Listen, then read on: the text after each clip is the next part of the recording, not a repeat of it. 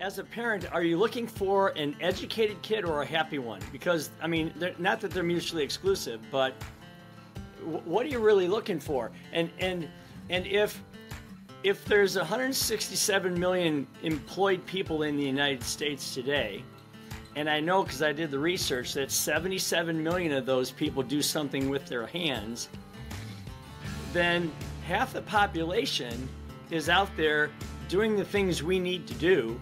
And because no one's willing to do that anymore, they're making a fortune doing it. Mm-hmm. So why are you just plugging away at pushing your kid through this expensive scenario?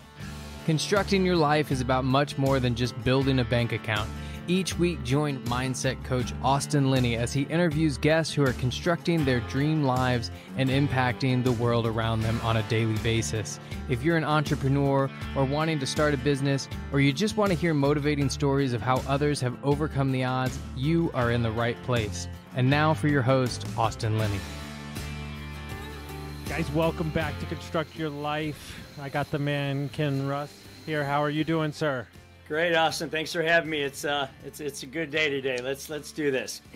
Yes, sir. Well, you wrote a great book called Blue Collar Cash. I loved it. Uh, by the title, you would think that you know it's all about the blue collar business, but I found it to be more about life and controlling kind of who you are. But what I found fascinating, and that's why I wanted to save it for the interview.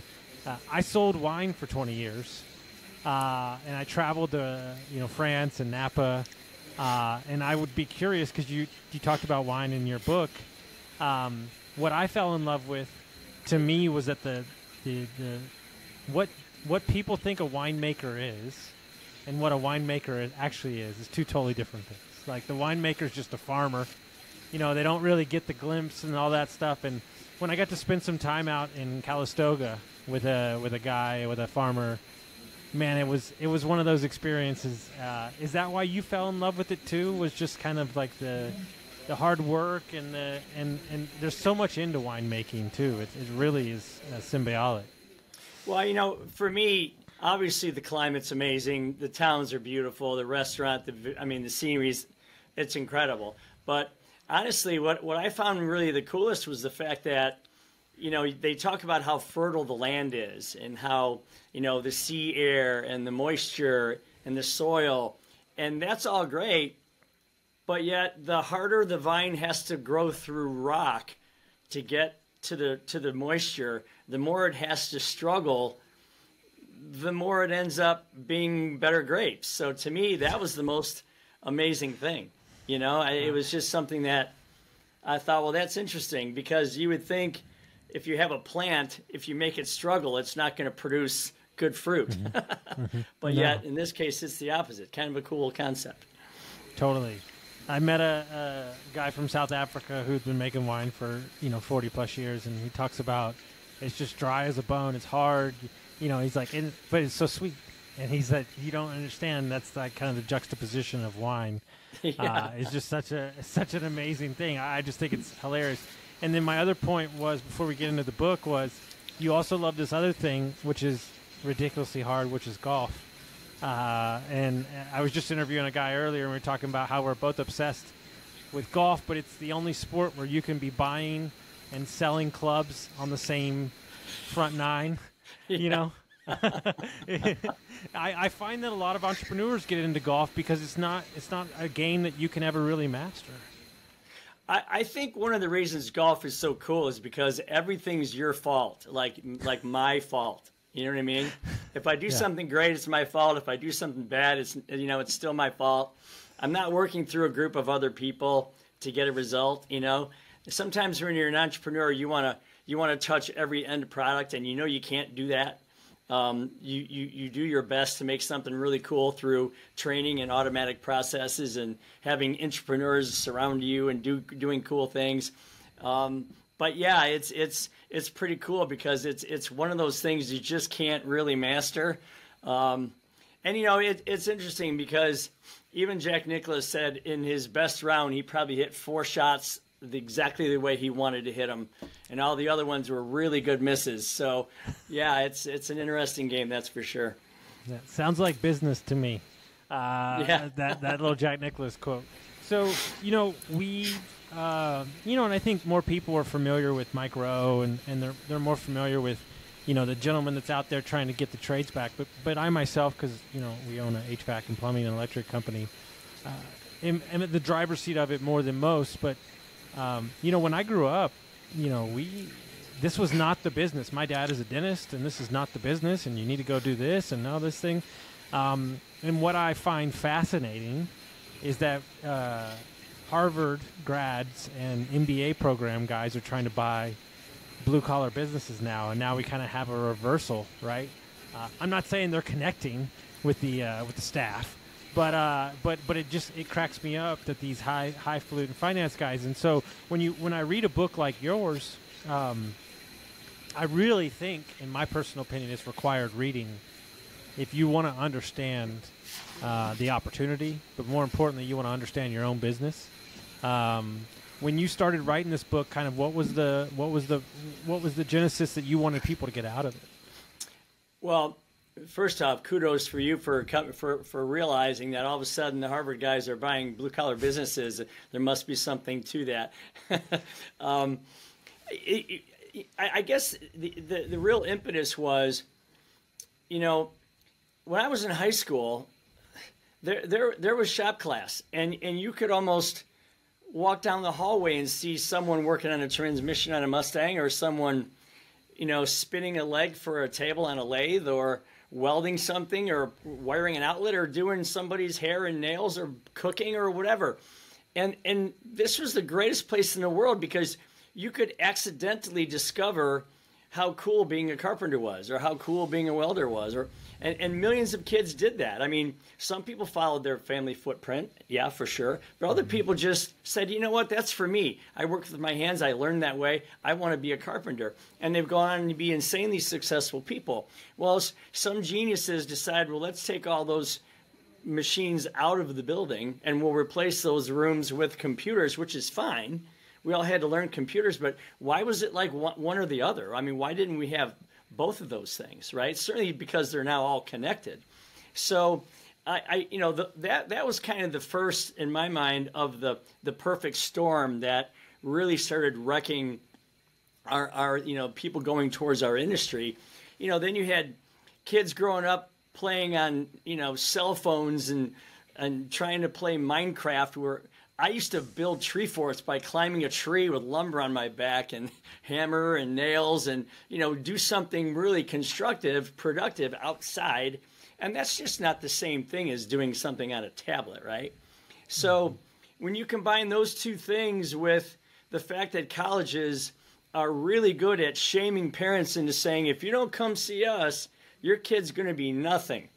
Uh, fast food forever for him or her, which is one of the biggest misleading statements, I'll call it that to be nice, that I've heard in a very, very long time. So now you've got all these parents that are like cattle just herding their kids into college because that's the only path to success, which has never been true, like like ever.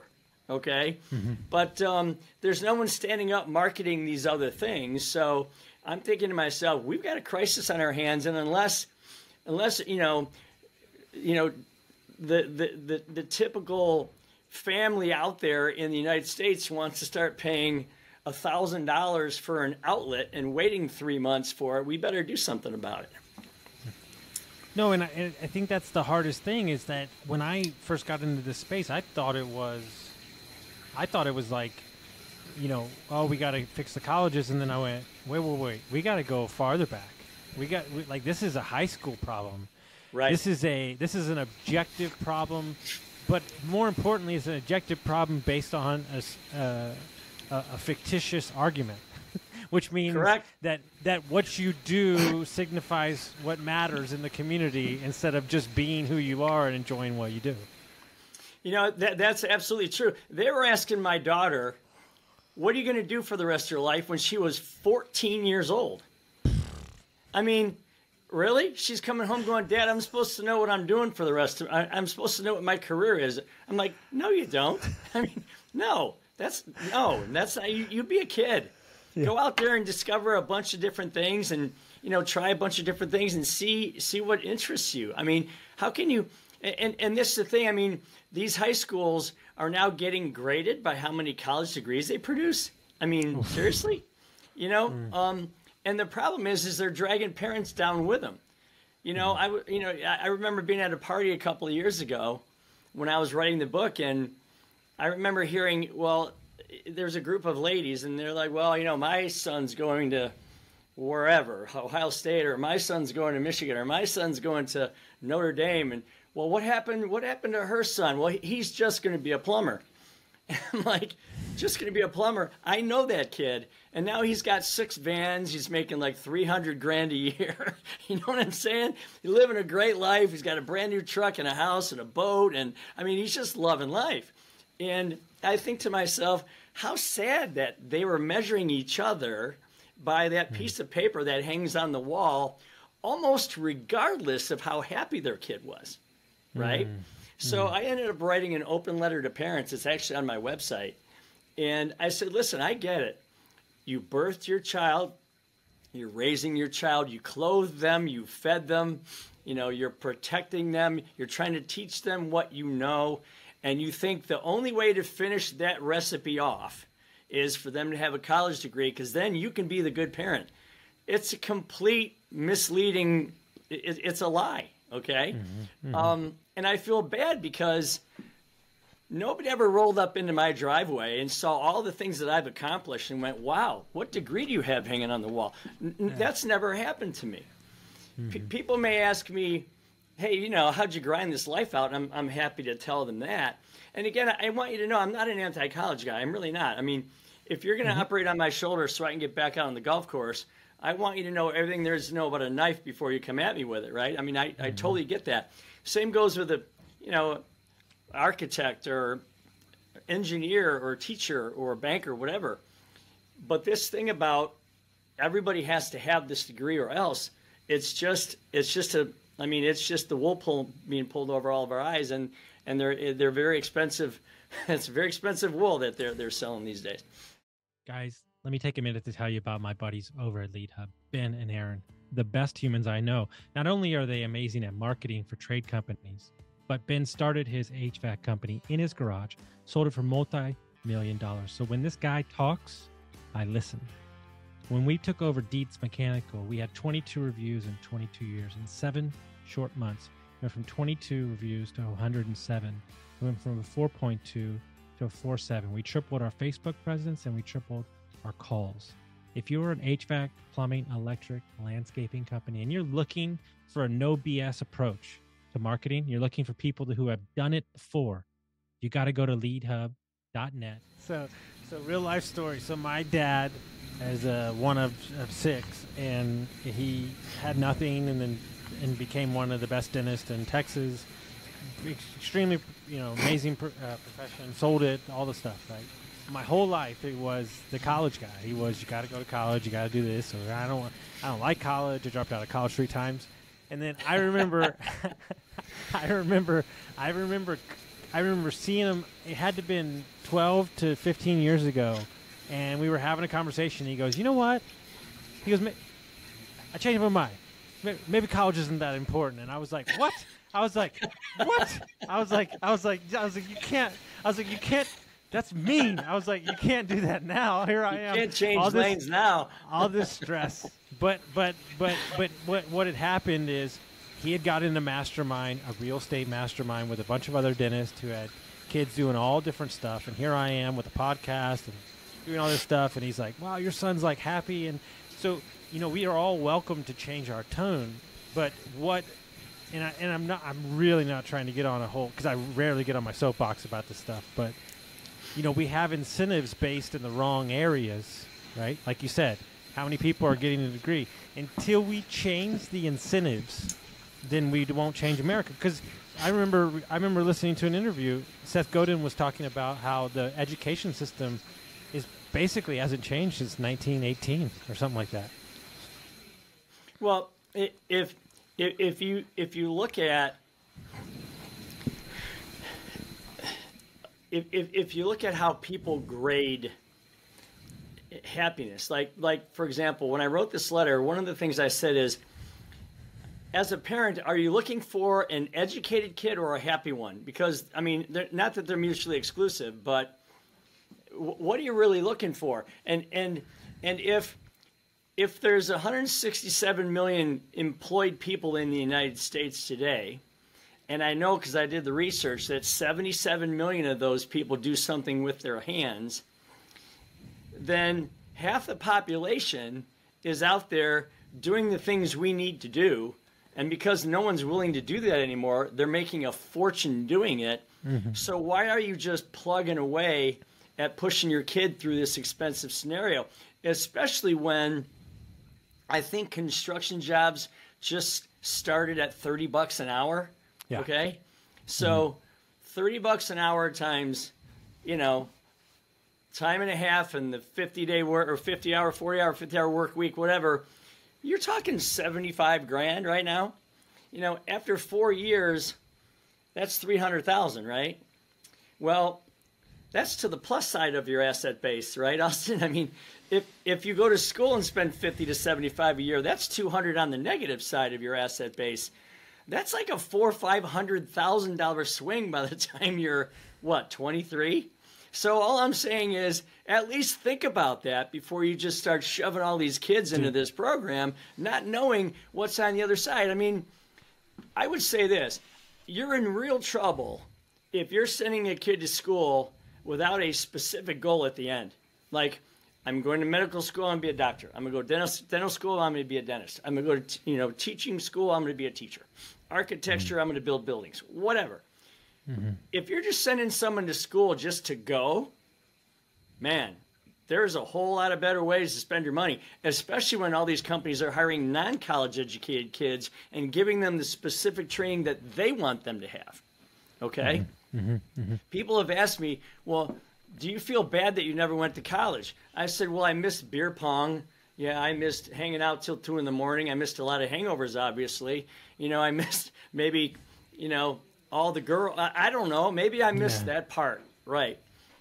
But my life's really, really good. I've never mm. looked back and said, wow, man, you know, I'm really sad that I never got that degree. I, I just never have because ultimately living well is the goal here. Sure. You know, we don't we don't live to work. We work so that we can live. Well, I'm interested in what your living part is. Mm-hmm. Let's talk about that first. Get that mm-hmm. out there, and then there I'll find you. There's a million different paths that you can use to get there. Yeah, I mean, I went, I lived uh, on somebody's couch for six months at University of Texas, and I didn't pay a dime, and I got the whole college experience. So, you know, there's different ways to kind of do it. And I'll be, on, I'll be honest with you, it's a little overrated. Uh, but uh, but I met a I met a kid. This is a true story. We've been trying to figure out a way to work with him, and and, and, and, and I you know we, we connect from time to time. He's a busy guy. Um, his uncle owned a plumbing company. They had 100 plumbers on staff. He started plumbing when he was 16. This is a true story. Wow. He's 24 now. So the, to be a master plumber in Pittsburgh is no joke. Allegheny County is very hard. Uh, he is a master plumber at. He just became a master plumber last year. In order to own a company in Allegheny County, you have to be a master plumber. In order to sponsor other people, he's 24 years old. He's making over a hundred and whatever. Uh, he's going to start his own company soon. He's probably going to be making a couple million at 26. Oh, yeah. He's got boats. He's got razors. He's got a farm. Like right. he's got everything. he's right. got a good girlfriend. She right. has a job. Like he's like, I got a farm and I got this property over here, and I'm like, dude, that's crazy. You yeah. Know? And, and, granted, his uncle was in the business, and he's very charismatic, and he's good at what he does. He knows what he's doing, but you know, he's 24 years old, and you know that guy's going to be making good money.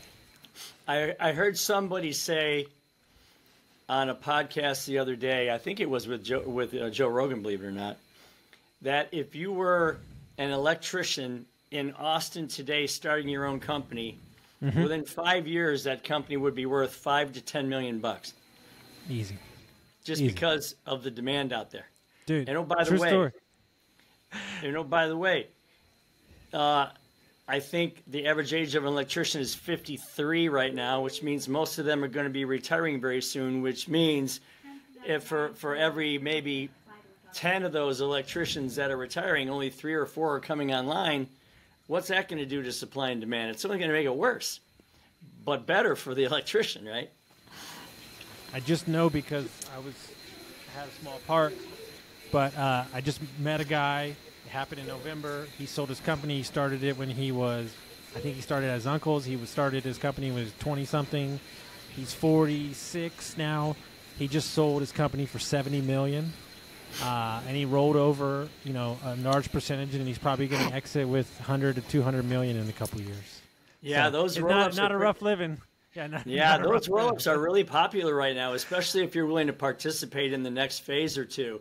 I, Mm-hmm. I know some people personally that have done that with blue collar um, companies, and they, they almost made as much money on the rollover as they did on the initial sale. So 100%. there's some pretty good opportunities out there. Now, and again, now I will tell you you, know, I had to exp- I had to explain to him what a roll up was and, and where and where the private equity was getting their money. And he goes, he goes, he goes. Uh, they got a big checkbook. I go, yeah, the biggest. He goes, okay, we're good. Time to go.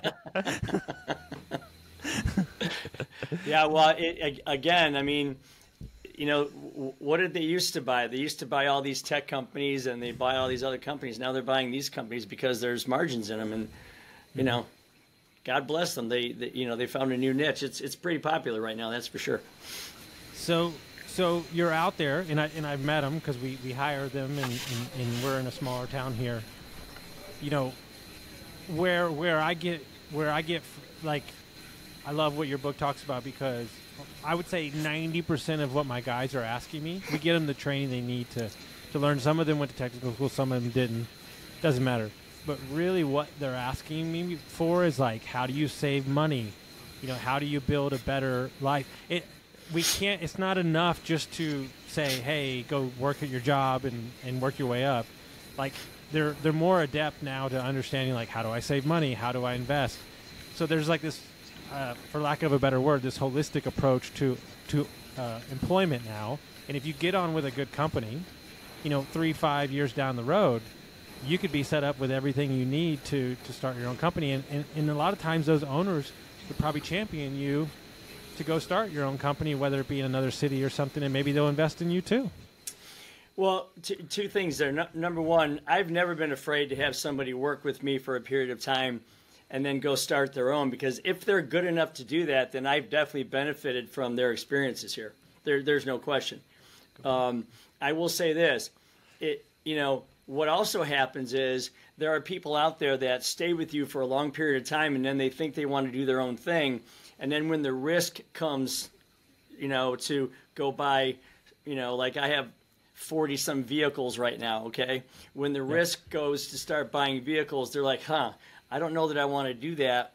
What, what I do as an owner is I give them the option of being owners here, meaning I treat them like entrepreneurs. I give them their divisions, I give them their departments, and I say, you run that like it's your own company. I mean, the ins and outs, the you know, the financial, the financials coming and going. I mean, we still keep an eye over the top of the whole thing, but they are literally bosses within companies, and they get bonused on on the the um, efficiencies of those divisions. So, you know, there's such a thing as an entrepreneur, which is you know, again, someone like myself who ends up with a lot of risk but gets a lot of reward. There's no doubt. But there's also entrepreneurs who get almost as much reward without as much risk but then everyone wins that way because you can drive a company a hell of a lot further than you can with one or two people if you have a bunch of entrepreneurs working in all in, in succession okay? So th- that's that's always been a really good uh, a, a really good kind of formula for me. And the thing you have to do though and most most entrepreneurs or i should say business owners or whatever their egos prevent them from doing this. You have to let go okay you have to say you know instead of banging your chest when you're at home at night saying hey i fixed this and i yelled at that and i made this happen and i changed this and i designed this and i built that you know if you told me that i'd be saying wow. I- it seems to me like you're too connected to what you're doing. I mean you know if if if you truly want to grow a company you need to almost make yourself irrelevant to it. And i don't mm-hmm. mean like you just go play golf all day. I mean you you hover above it in a helicopter figuratively at 2000 feet and look back down at it and you're not involved in any one particular piece because truly then you can allow people to make awesome decisions kind of like guide them along and watch the thing grow like crazy if you're so buried in the fact that you have to do everything then your, your ego's not going to let you get past that. But yet, that is truly the secret of growth. No, and I, what you just talked about, I mean, I've heard it, but I haven't heard it the way that you put it. You know, have your own business with inside the business. It's so smart because, you know, I don't think that enough people understand the the risk and you know the the gravity of the situation until it's time. But then you now they have the playbook and they have somebody overseeing and helping them, but they get that freedom, right? They don't really they don't really want the stress of it. They really just want the freedom.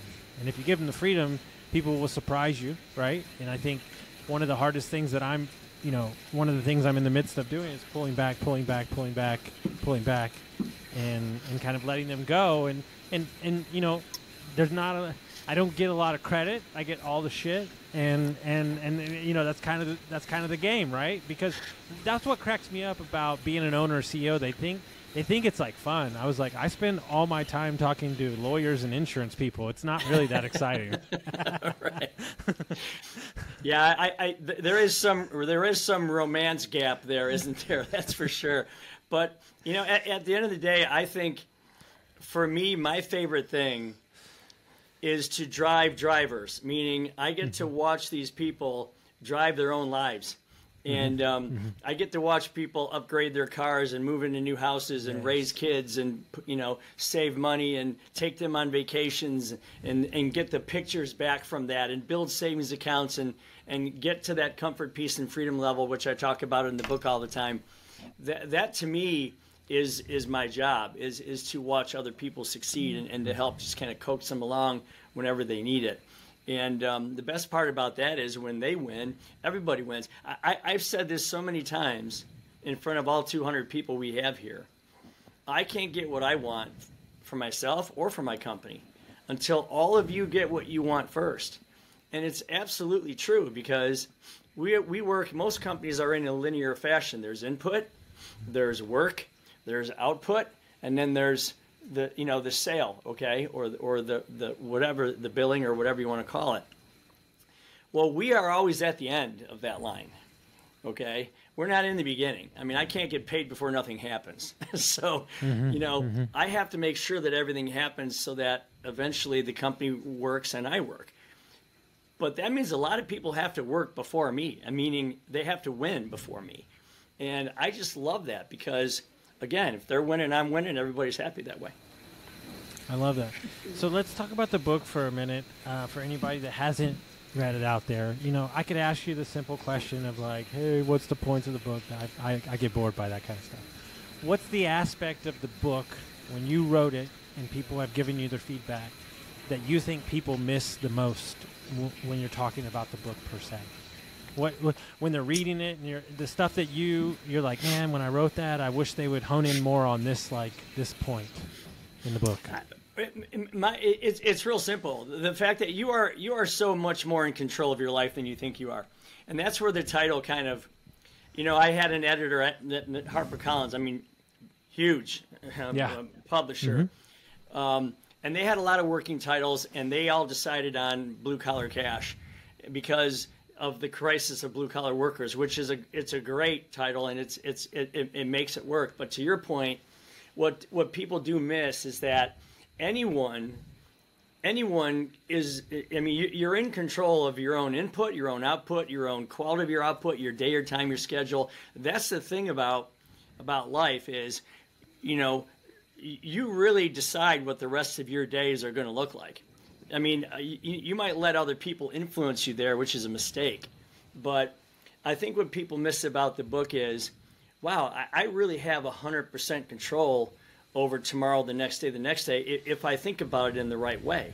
I mean, again, I, I don't I don't live to work. I work so I can live. I'm not gonna let life happen to me. Okay, I'm gonna happen to my life. And if mm-hmm. you put it in those perspectives, you know, you kind of turn around and go, well, you know what? You're right. I mean, he's right. That that is the way we we all know what our favorite color is. Nobody else knows that. We all know what our favorite car is, what our favorite house might look like, what our favorite vacations are. Nobody else knows that. It, it, could could I guess what type of pet you would like to own? A dog or a cat? What color? What would you name it? There's no way I could do that, right? Yeah. But yeah. you could And so, why are we allowing all these out, outside influences to control our life when, in fact, we know what works best for us? We know what our nirvana is. We know what our comfort, peace, and freedom is. So, why aren't we drawing that out and then going after it one step at a time? I have a good friend. He said something on a podcast similar to this vein. He said the problem with negative and positive in, in the world is there's so much positive around us, it's we become numb to it. Yeah. He said he said we're breathing, we've got comfort, we got rooms, you know, and we're all nobody's everybody's trying to be a millionaire now. And he's like, if you just like take the day for what it is, I got family, I get to work, I get to I get to earn. Like you know, now more than ever, you can have multiple jobs. It's, it's what you're saying. It's so important to me. It's like there's nothing outside of you that you don't need already. You just got to open up to it. Well, and, and what's interesting there is is I always get to the next step of those things. You know, mm-hmm. like when you say, you know, when you, your friend said uh, something about well, you, you, know, just working and move on up. Well, can you define like draw move on up? What what does that mean? Okay. Yep. Mm-hmm. What that means is you're accepting higher responsibility, more position, more pay, and therefore more opportunities, which should provide you more freedom, right? Mm-hmm. Mm-hmm. So when someone says, I want to be a millionaire, I always say, why? For what? Well, because I want to have money. Money for what? For what? For well, what? I want to buy a fishing boat, or I want to take my family on vacation, or I want to buy a cabin, or I want to, I want to have, I want to swim in the money on my bed and just like relish in the fact that I'm stress free. Well, well, fine, but that's that's the true thing. You know, we're, we're not all going to chase McMansions and 15 cars and mega yachts and maybe rap star career. We're, that's influencer. We're not all going to do that. Mm-hmm. But we all know exactly if we sat down and just thought about it, we all know what the perfect life for us could be. Man, if I could live like that, that would be really cool. So get that in front of you. Use the fact that your brain has that reticular activating system. Use the fact that your brain has the attraction mode the the firing of the neurons that create pictures in your mind that create actions in your body to go get the things that it sees most.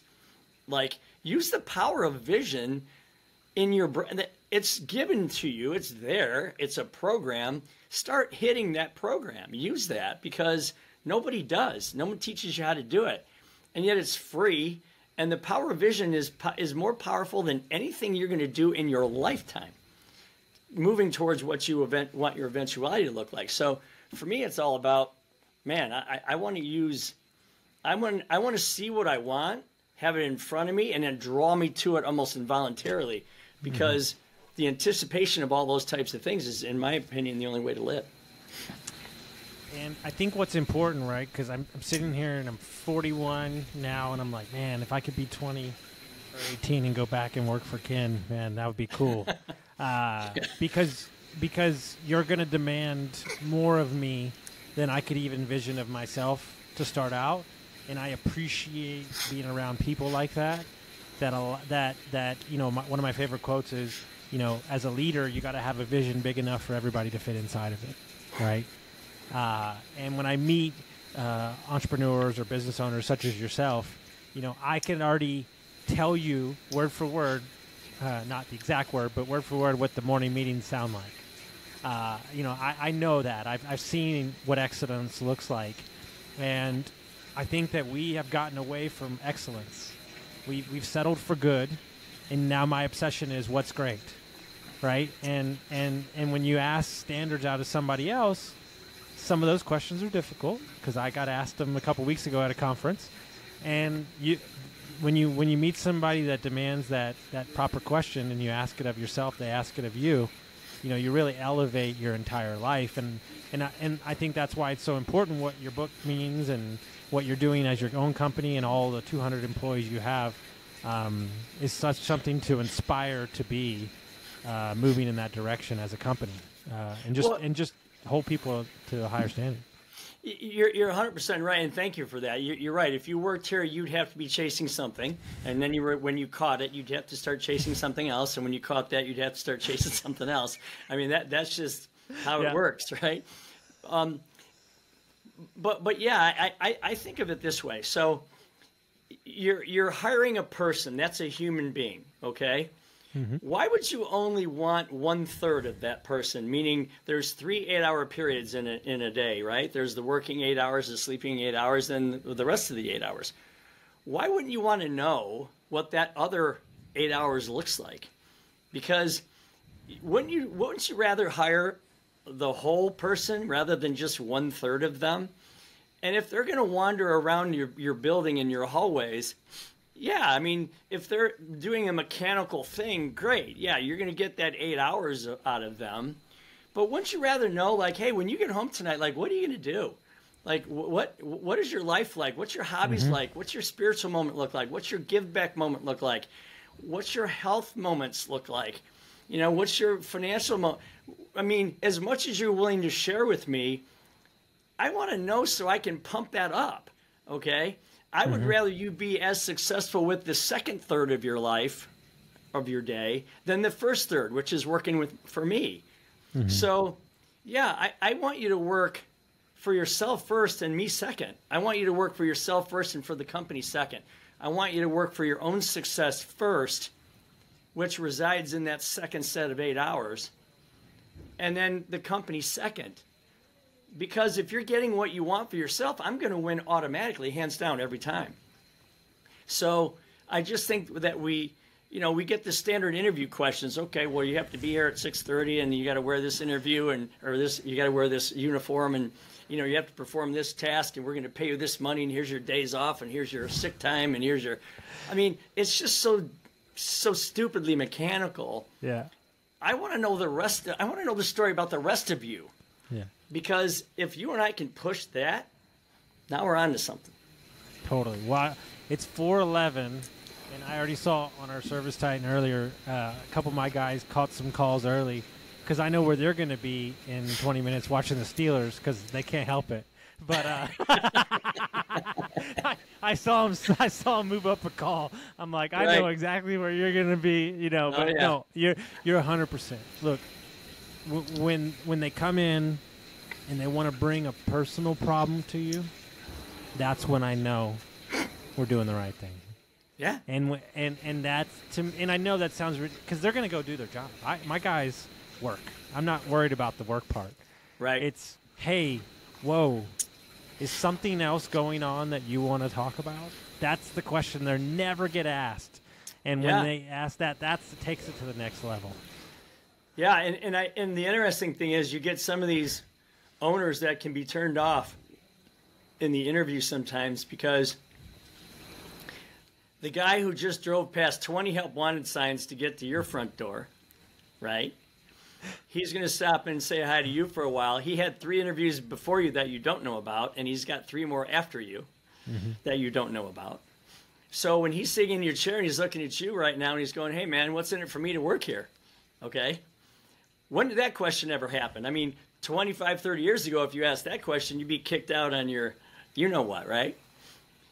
But now, you know, most most owners will go, well, how dare you ask me that question? How dare you come to me with that attitude? But I'm, I, I look at it completely different. I'm looking at it like, hey, man, I know what you're up to, and and if I if I can answer that question in a way that makes you feel good about it, mm-hmm. then we're both going to win here. Okay. If I can answer the question, what's in it for you to work here? And you go, all right, I think I'll I think I'll work here. I think that's good. I won, and we're going to win together. Okay. Mm-hmm. And so you just can't be afraid of that type of new attitude because it wasn't around 15, mm-hmm. 20, 25 years ago.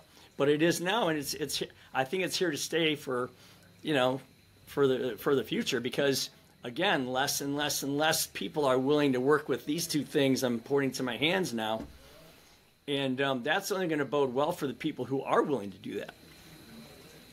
Thousand percent. So, if people want to find the book, how would they track that down, sir? They would go to kenrusk.com and they could. There's a bunch of buy buttons there, but you can always go to the usual suspects. You know, Amazon, iBooks, Barnes and Nobles, all those kinds of places. Independent bookstores. Don't forget to support those as well. And um, one of the cool things I did is I was, um, you know, so many times people read books, they they're self help books, but they become. I heard this the other day. I thought it was cute. they become shelf help books because nothing ever gets done with them, right? So I stole that, but so I, I made a course now that it's it's eight sessions and it's only 45 minutes a session and it's all on visualization it's all on your ability to see what you want your life to look like it gives you the keys literally unlock your own future nobody else's right mm-hmm. so it's 179 bucks you get a free $25 book with it and then i donate most of that money to charity anyway because i, I have a foundation that helps veterans and so we, we do a lot of charity work here which is really mm-hmm. cool but you know, for for not much money, you can change your life this afternoon, starting right now. Okay, mm-hmm. an hour from now, you could say, "Wow, I'm thinking differently about who I am already," and um, it, it's it's just something that I put out there. So if if you if you if you go ahead and get involved in that, I tend to take that money and give it to a, someone in the inner city or whoever who's who's struggling who'd love to get some information for free. Um, and uh, it's just kind of my way of giving back after, you know, because it's incumbent upon guys like you and me to shorten the learning curve for entrepreneurs that are following up behind us. That that's mm-hmm. the way I look at it. So this is my way of doing that. Thousand percent. Guys, make sure you go grab that book and that course. Trust me, you won't be disappointed. Share it with a friend, send it around, and we'll see you next time.